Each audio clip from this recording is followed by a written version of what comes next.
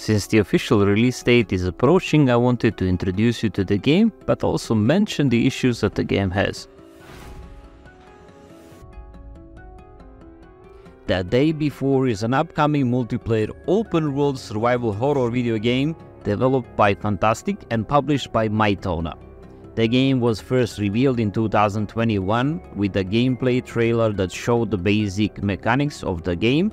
The game was originally supposed to be released in June 2022 but was delayed to March 1st, 2023 due to a planned switch from Unreal Engine 4 to Unreal Engine 5.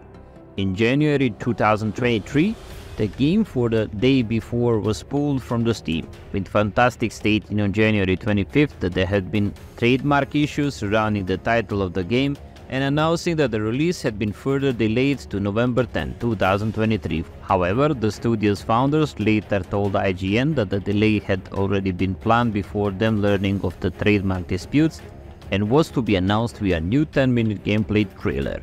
They also defended claims that the game was a scam stating that they were being backed by Mytona and being evaluated on in progress regularly, and that they didn't take a penny from people, no crowdfunding, no pre-orders, no donation. On February 2nd, 2023, amid speculations over the status of the game, Fntastic released a new raw gameplay footage. However, shortly afterward, videos relating to the day before were pulled from the YouTube due to trademark complaints by a third party. Fntastic later claimed that it was being targeted by developer of calendar app named the day before, and in August 2023 it was reported that Mytona and Fntastic had filed a trademark registration for the new title Day World. When first announced, the game became the most wished game on Steam. Early concerns related to the feasibility of such ambitious open world multiplayer project for a small indie studio like Fntastic.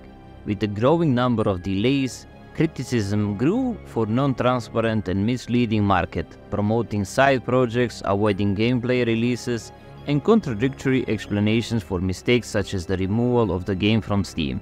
The sad part is that many of the gamers are spending time in the official Discord of the game, asking developers or anyone who could maybe have an information about the game. The official release is quite close, but the preparations that we have seen during other game releases are not present.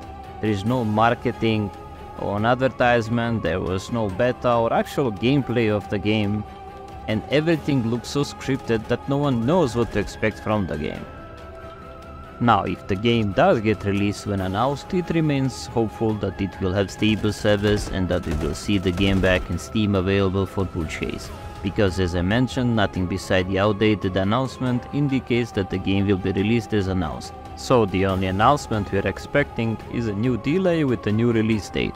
I will follow up with the news once there are any, so if you are interested in finding out what happens with the game, don't forget to subscribe to my channel. Thank you for your attention, see ya!